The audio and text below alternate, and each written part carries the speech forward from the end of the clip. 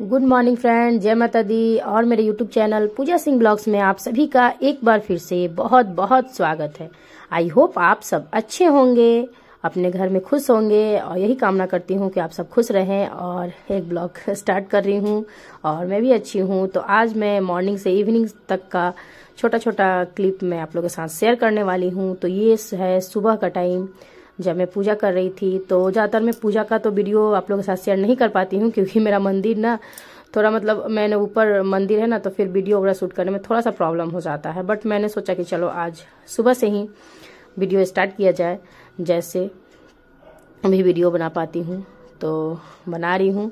और यहाँ मैं, अब पूजा मेरा हो चुका है और मैं छोटा सा एक आरती करती हूँ तो वो मैं आरती कर रही हूँ। और पूजा वगैरह करने के बाद एक दो आरती पढ़ लेती हूँ। जैसे टाइम हुआ कभी कभी ऐसा होता है ना, आराध्या बहुत ज़्यादा शरारत करती है तो फिर मतलब जितना जल्दी हो सके उतना जल्दी करती हूँ। तो आज थोड़ा टाइम था, क्योंकि आराध्या आज बाहर खेल रही थी। थोड़ा बहुत धूप निकला हुआ था, और ठंडी तो बहुत ज़्यादा है। आप लोग के यहाँ कैसा वेदर है, ज़रूर बताइएगा। और यहाँ तो बहुत ज़्यादा ठंड है तो यहाँ मैं पूरे घर में आरती को दिखा देती हूँ, और उसके बाद फिर यहाँ ला के रख दूँगी। और बाहर भी मैंने जैसे बताया, हमारे यहाँ मंदिर है तो वहाँ भी मैं जाऊँगी। हाय फ्रेंड, जयमत माता दी और मेरे YouTube channel Pooja Singh blogs में आप सभी का एक बार फिर से बहुत बहुत स्वागत है। आई होप आप सब अच्छे होंगे और मैं भी अच्छी हूँ। तो आज है नया साल का दूसरा दिन। तो ब्लॉग स्टार्ट है।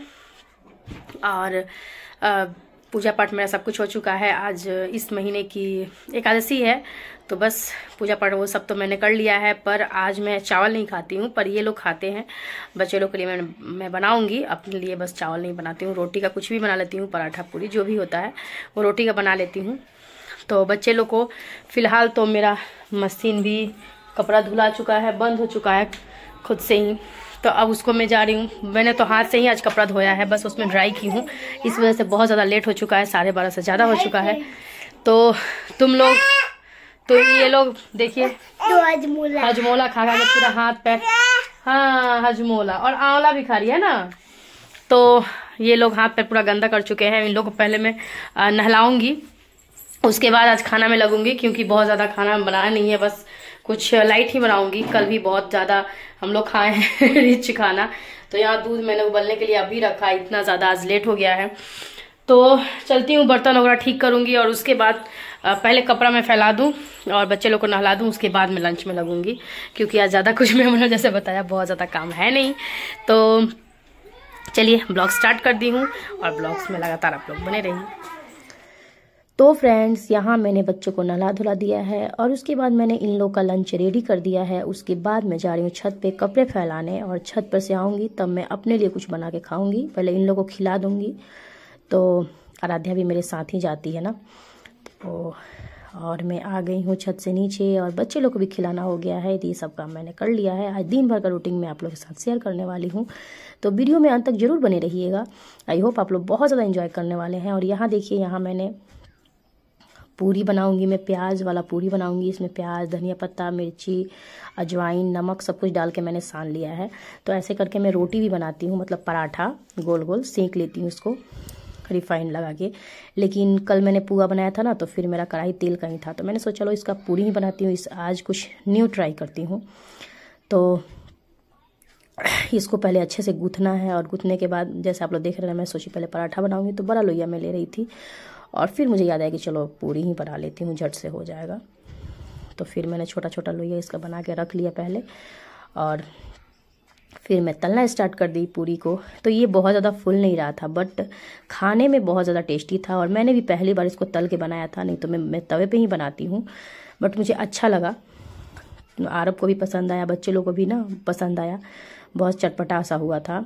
तो आप चाहें तो इसमें थोड़ा सा मसाला भी ऐड कर सकते हैं। मेरे बच्चे हैं ना, उसके अकॉर्डिंग मैं कुछ भी बनाती हूँ। थोड़ा सा बस हरा मिर्च मैंने डाला था और उसको भी मैंने निकाल के बच्चों लोग को दिया। और यहाँ हो चुका है शाम।